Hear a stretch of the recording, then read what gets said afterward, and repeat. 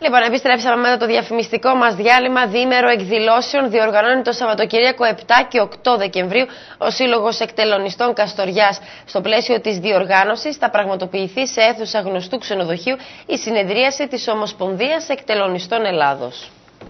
30 χρόνια συμπλήρωσε φέτος ο Σύλλογος Εκτελονιστών Καστοριάς. Με αφορμή το γεγονός αυτό θα διοργανωθεί στην περιοχή μας. Το διήμερο 7 και 8 Δεκεμβρίου η συνεδρίαση της Ομοσπονδίας Εκτελονιστών Ελλάδος. Παράλληλα θα βραβευτούν τα ιδρυτικά μέλη του Συλλόγου Εκτελονιστών. Μια διημερίδα εκδηλώσεων ε, ξεκινώντας από τις 11 η ώρα το Σαββάτο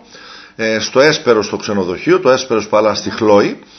ε, όπου θα υπάρχει συνεδρίαση με πάρα πολλά θέματα, πάνω από 10 σε ημερήσια διάταξη από την Ομοσπονδία Εκτελονιστών της Ελλάδος με τον ίδιο τον πρόεδρο ε, τον Γιώργο τον Ζωγράφο ο οποίος μας κάνει και την τιμή ε, που θα παρευρίσκεται εδώ με όλους τους άλλους τα μέλη του ΔΣ αλλά και όλα ε, τα, ε, τους προέδρους των ομόσπονδων συλλόγων από όλη την Ελλάδα ε, σίγουρα αυτή η τιμή είναι πολύ μεγάλη ε, και για ε, τον Σύλλογο και για μένα προσωπικά αλλά και αυτό το γεγονός ε, να βγει συνεδριακά ε, τέτοια εκδήλωση έξω από το λεκανοπέδιο της Αττικής, από τον Πειραιά, από την Αθήνα και από τη Θεσσαλονίκη δεν έχει ξαναγίνει τα τελευταία 100 χρόνια. τα θέματα είναι πάρα πολλά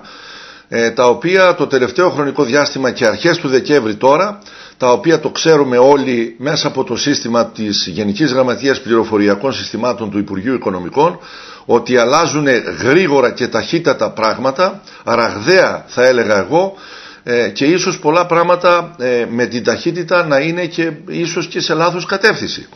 Ε, η Ομοσπονδία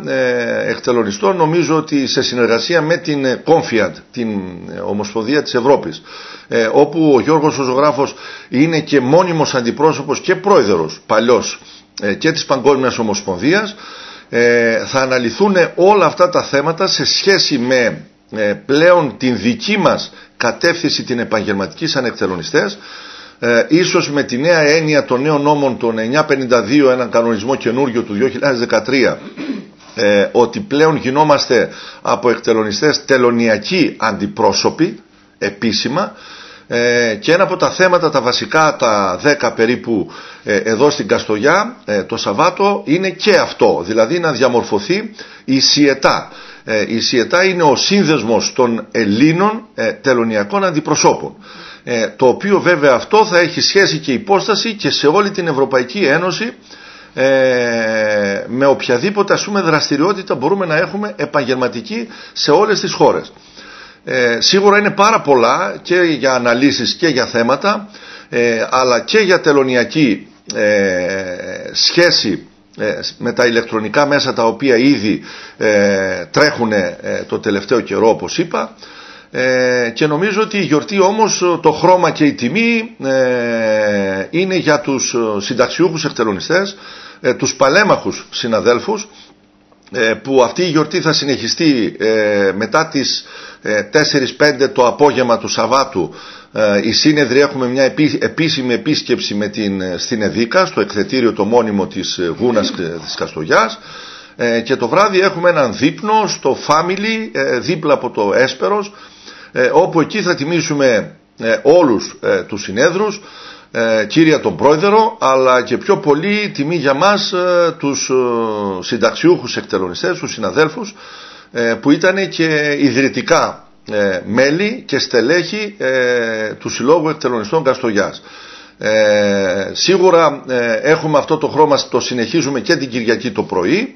με μια επίσκεψη στην σπηλιά του Δράκου και καλώς ευχόντων των πραγμάτων και ο καιρός το επιτρέψει να μπορούμε δηλαδή να κάνουμε και μια ξενάγηση επίσημη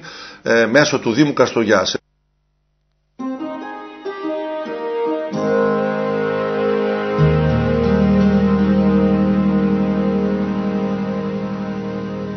Στην πρόγνωση του καιρού τώρα, ο οποίος θα είναι συνεφιασμένος για αύριο Σάββατο με πιθανότητα βροχοπτώσεων αλλά και χιονόνορου σε κάποιες περιπτώσεις. Εάν με θα πνέουν από βορειοανατολικές διευθύνσεις ασθενείς, ενώ η θερμοκρασία βλέπετε θα κοιμανθεί από 0 έως 5 βαθμούς Κελσίου. Στο σημείο αυτό ολοκληρώθηκε σήμερα το δελτίο μας. Ευχαριστούμε πολύ όλους εσάς που μας παρακολουθήσετε. Να έχετε ένα όμορφο βράδυ Παρασκευής και ένα ακόμη πιο όμορφο Σαββατοκύριακο.